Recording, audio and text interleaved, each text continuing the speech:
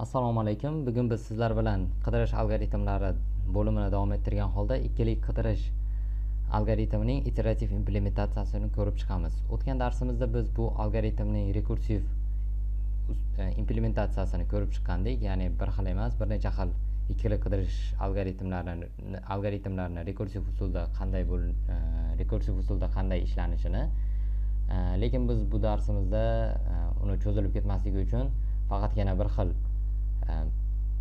faqat asosiy algoritmni implementatsiyasini ko'rib o'tamiz va undan keyin agar sizga mustaqil ravishda o'zingiz harakat qilib ko'rishingiz mumkin ya'ni leftmost yoki rightmost binary searchlarni iterativ usulda o'zingiz qanday bo'lishini harakat qilib ko'rishingiz mumkin demak har doimgidek men hamma narsani tayyorlab qo'yganman bizda yigirmatalik array bor u birdan o'ttizgacha bo'lgan sonlar bilan to'ldirib chiqilgan.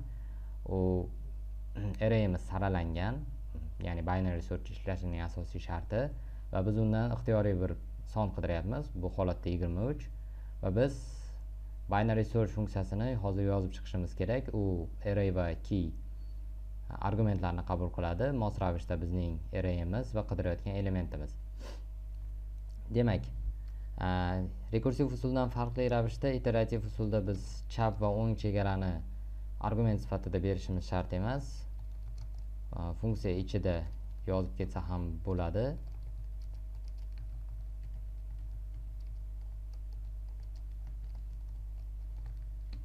Va aytib o'tganimizdek umuman o'tgan darsimizda ma'ruza darslarimizda binary searchni to'xtash sharti sifatida ya'ni element topilish e, nuqtasidan tashqari e, leftning rightdan katta bo'lib qolishi ham kiradi.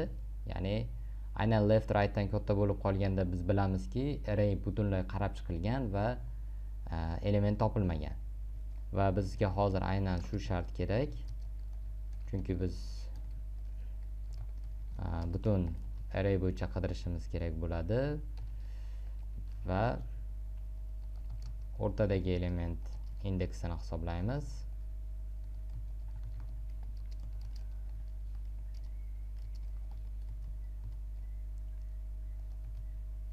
Agar o'rtadagi elementimiz biz qidirayotgan elementga teng bo'lsa uni indeksini qaytaramiz.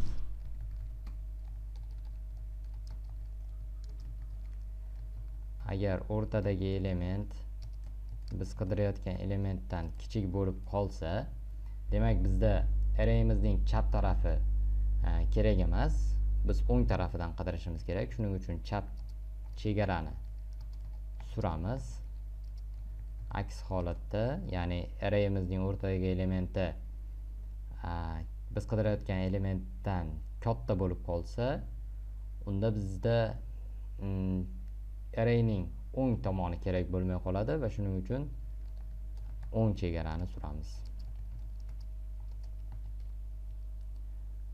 Ehm, va element topilmasa minus bir qaytaramiz. Menimcha shu boshqa e,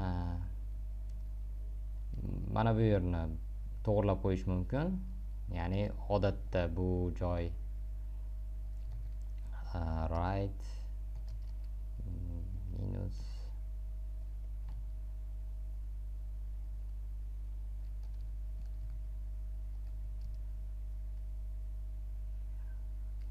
yo'q adashdim left plus right minus left. Odatda xuddi shunday ko'rinishda yoziladi. Bu aynan integer chegarasida yig'inda chegaradan chiqib ketib qolmasligi uchun bu menimcha hozir bizning holatimizda unchalik shart emas. Lekin bilib qo'yganingiz yaxshi. Demak ishlatib ko'rib tekshirib ko'ramiz.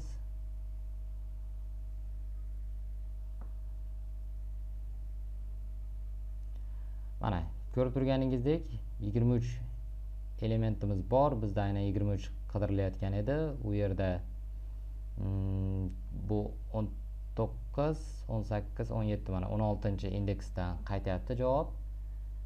Endi chegarani oshirib ko'rsak bizda topilmaslik ehtimoli oshadi.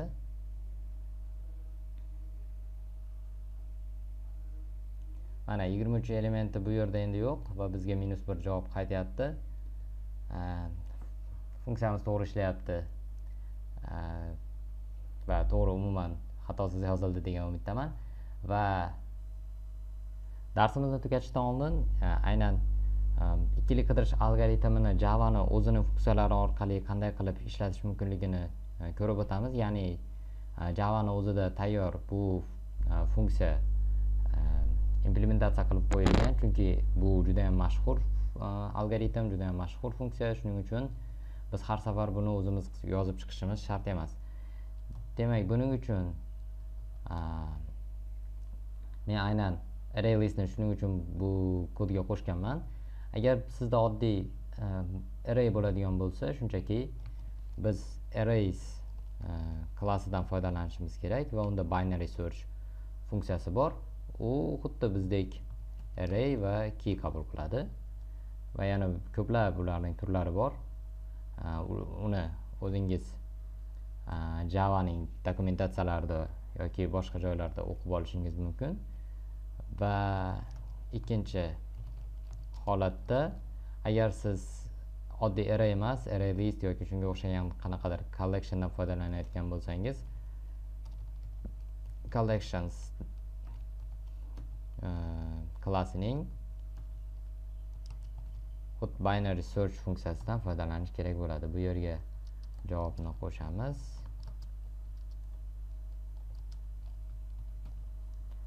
va ishlatib ko'ramiz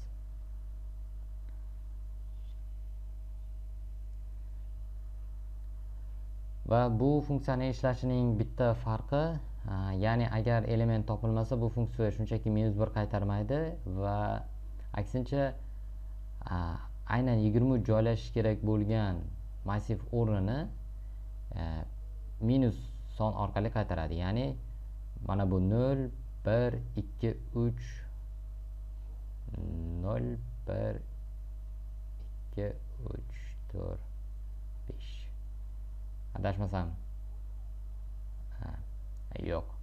Minus u birdan sanayapti shekilli. Bir ikki uch to'rt besh. Ya'ni mana shu yerga e, yigirma uch e, soni joylashishi kerakligi haqida biz bizga e, ma'lumot qaytaradi. Ya'ni shunchaki minus bir qaytarmaydi.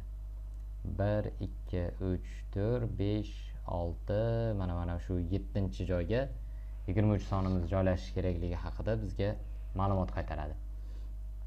Bu aynan javadagi binary searchning qanday ishlashi edi va bu funksiya c da ham bor. C da bu binary searchning uch xil turi bor. Binary search upper bound va lower, lower bound va upper bound. Binary e, uchalasi ham aynan algoritm kutubxonasini ichida joylashgan va binary searchning o'zi shunchaki true false qiymat qaytaradi. Ya'ni topilsa true topilmasa false.